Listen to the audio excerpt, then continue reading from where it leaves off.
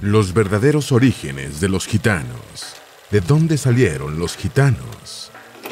Los gitanos poseen una de las culturas más singulares en la historia mundial y es el grupo étnico minoritario más grande de Europa. Durante muchos siglos y por toda la novedad cultural que han representado, llenaron de fascinación, curiosidad y hasta de preocupación a los habitantes de Europa. La percepción que el mundo ha tenido de ellos es variopinta. Son seres que por un lado causaron fascinación por sus ideales de libertad, sus destrezas histriónicas y por los poderes de adivinación que se les adjudicó. Por otro lado, mientras se iban propagando por el mundo, llegaron a causar desagrado, muy especialmente a los habitantes de Europa, pues sus costumbres y su peculiar manera de expresarse contrastaban con el estilo de vida sedentario y rutinario de los europeos. Los gitanos se propagaron de a poco por el mundo y hoy muchos se han dedicado a la vida artística, generando así una enorme admiración en millones de personas. Pero, ¿de dónde son originalmente? ¿Cuánto conocemos de su procedencia? ¿Se caracterizan por el arraigo territorial? ¿Cuántos grupos de gitanos hay? que han tenido que pasar a lo largo de los siglos? En esta entrega te contaremos sobre su verdadero origen y otros aspectos interesantes sobre ellos. Antes de meternos a fondo, no te olvides de suscribirte a nuestro canal y activar las notificaciones para mantenerte al día con nuestras actualizaciones.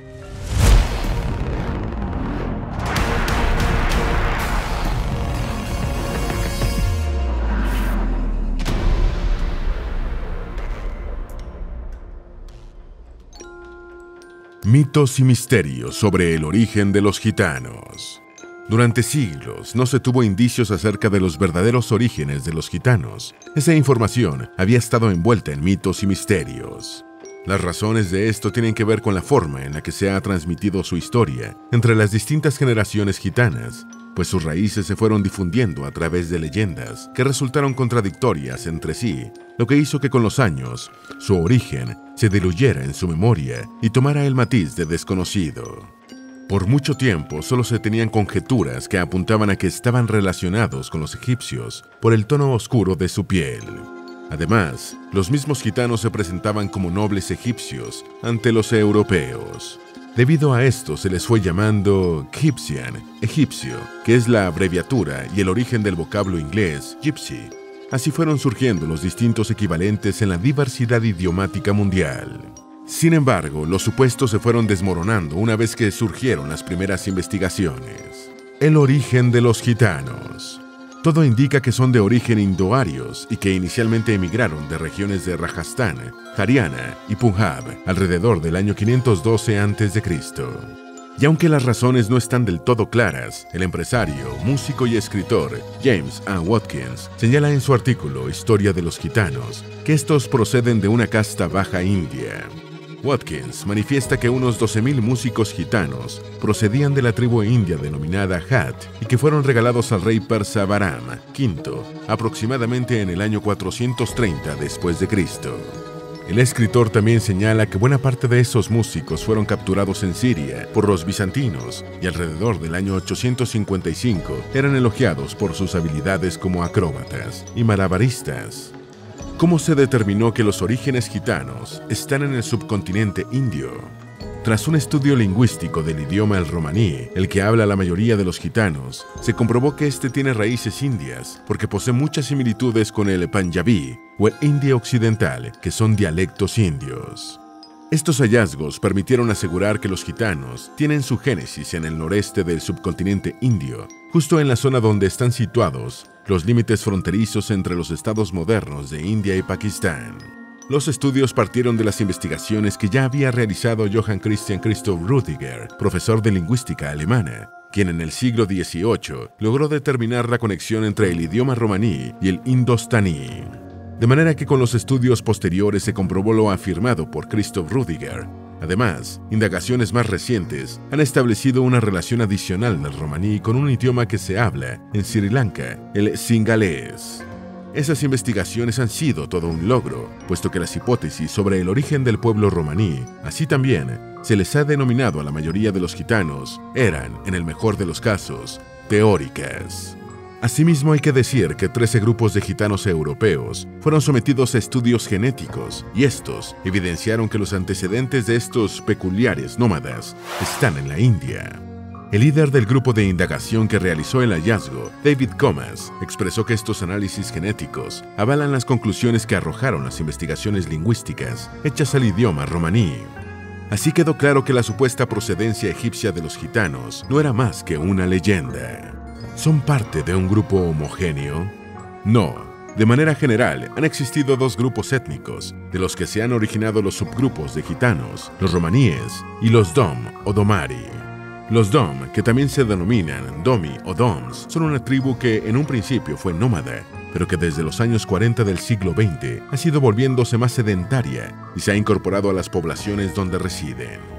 Están ubicados principalmente en Medio Oriente, Asia Central, el norte de África y el Cáucaso. Incluso, todavía hay un pequeño grupo establecido en partes del subcontinente indio. Su población está estimada en alrededor de 2.2 millones. Tienen un idioma, el Domari, que no tiene representación escrita porque su cultura es oral. Es posiblemente por eso que el domari es menos difundido que el romaní y corre el peligro de desaparecer porque muchos dam ya no lo hablan.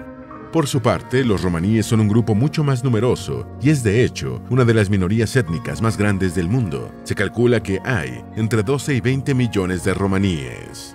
Según lo reseña la organización de derechos humanos Open Society Foundation, los siguientes grupos se incluyen dentro de la categoría de los gitanos. Los Romanishans, ubicados en Inglaterra, Bejash, en Croacia, Calvelias, del estado de Rajasthan de la India, Calais, en Gales y Finlandia, en Turquía, y el Calais ibérico, que se encuentran en España y Portugal. ¿Desde cuándo y hacia dónde han emigrado los gitanos? Una vez que abandonaron la India, las migraciones se hicieron muy frecuentes. De acuerdo con algunas fuentes, los grupos romaníes se ubicaban en Persia en el siglo XI, mientras que a inicios del siglo XIV ya se encontraban en el sureste de Europa y en el siglo XV se hallaban en Europa occidental. Llegada la segunda mitad del siglo XX, se habían esparcido a todos los continentes habitados, aunque la mayor concentración de ellos sigue estando en Europa. Se asegura que los gitanos usaron su ingenio para adjudicarse ducados falsos ante monarcas y papas, quienes les concedían un permiso una especie de pasaporte con el que podían avanzar sin problemas por Europa. Se sabe que el primero que les otorgó este permiso fue Segismundo, el emperador del Sacro Imperio Romano Germánico. Gracias a eso, en el siglo XV, pudieron establecerse en Francia, Alemania, Italia y Hungría, específicamente entre los años 1414 y 1417. Tras la muerte de Segismundo, viajaron con un supuesto salvoconducto otorgado por el Papa, en el que se decía que los gitanos habían sido condenados por el pontífice a vivir como nómadas. De acuerdo con lo que James A. Watkins reseña en el artículo que mencionábamos antes, los salvoconductos emitidos por Segismundo eran legítimos, pero los papeles resultaron ser falsificaciones. Sus diversas denominaciones. Si bien hoy se les conoce como gitanos, su denominación más difundida es Rom. Por eso, muchos se refieren a sí mismos con este término genérico, cuyo significado es hombre o esposo. No obstante, una hipótesis plantea que el vocablo puede estar asociado con doma, término que significa una casta baja de músicos y bailarines ambulantes. En Europa existe una gran variedad de nombres. Por ejemplo, en Alemania los llaman Sigeuner y Sinti en Francia, Gitans en Hungría, Ciganos y en España, Gitanos. En Medio Oriente y África del Norte se les denomina especialmente Dom, pero existe otra gran variedad de términos. Hoy, un gran número de gitanos se opone a que se emplee el vocablo inglés gypsy, que es la abreviatura que se origina de Gypsian, egipcio. Esta palabra tiene para muchos romaníes un valor peyorativo debido a sus connotaciones de regularidad e ilegalidad. Pero esa percepción peyorativa es casi inexistente con los vocablos gitano en español y tzigane en francés. Incluso sucede lo mismo con los términos que lo saluden en italiano, portugués y rumano. Las primeras menciones que describen a los gitanos. La primera mención que se conoce de los gitanos en Europa la hizo el fraile franciscano irlandés del siglo XIV, Simon Simeonis. El fraile los encontró en Creta mientras andaba de viaje por Europa del Este para prestar atención a los habitantes locales y sus costumbres. Sobre los gitanos que halló en Creta en 1323, afirmó que son de la familia de Cam. Rara vez o nunca se detienen en un lugar más de 30 días, pero siempre vagan y fugitivos, como si Dios los maldijera, de campo en campo, con sus tiendas oblongas, atrás y abajo. Más adelante, el viajero alemán Arnold von Harf describió en 1497 a los gitanos que vivían en Modon. Sobre ellos dijo, Muchos pobres negros desnudos, llamados gitanos, se dedican a todo tipo de oficios, como zapatería y también herrería. También se ha informado que en el año 1348 ya había gitanos en Serbia, en 1362 en Croacia, donde se desempeñaron como orfebres, y también se les reseña para el año 1378 en Rumania, donde fueron puestos a trabajar durante su esclavitud como barberos, sastres, panaderos, albañiles y sirvientes domésticos sobre su llegada en 1422 a lugares de Italia como Bolonia Forli. Hay registros como la Crónica Bolonia, de autor anónimo, y la Chronicon Forlovins, escrita por Fray Girolamo Copos. De acuerdo con lo que reseña James Watkins, los gitanos se mencionan por primera vez como músicos en la historia europea en el año de 1469. Amantes innatos de la libertad y sin apegos territoriales. Los romaníes tienen una peculiaridad, jamás se han identificado con un territorio o nación en particular. Andan esparcidos por el mundo, muy especialmente en Europa. Ellos no añoran conocer o vivir en una patria de la que sus antepasados hayan tenido que emigrar. Por lo contrario, viven proclamando un ideal de libertad que no los ata a ningún lugar de nacimiento de origen étnico. Se piensa que la causa de esto es que su cultura es fundamentalmente ágrafa, esto es, no tienen registros escritos acerca de su procedencia, producto de esa misma despreocupación por conocer con exactitud sus orígenes. ¿A qué se dedicaban? Los gitanos se establecían en las afueras de la ciudad, en un campamento. Generalmente se ganaban la vida como músicos y cantantes ambulantes. Las mujeres adivinaban el futuro y hacían sus bailes. También había hombres que trabajaban el metal y eran comerciantes de caballos. Los gitanos se han extendido por el mundo. La mayoría aún se hallaba en Europa Central, Oriental y Meridional, además de que tienen presencia en el medio oeste de Asia.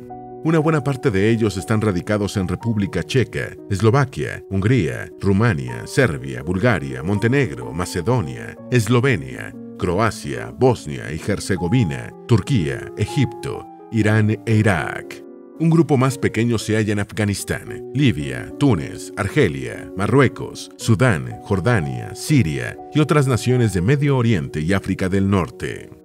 En Europa actualmente se estima que viven entre 10 y 12 millones de gitanos, mientras que en América se estima que hay un millón y medio de gitanos, 800 mil de ellos viven en Brasil.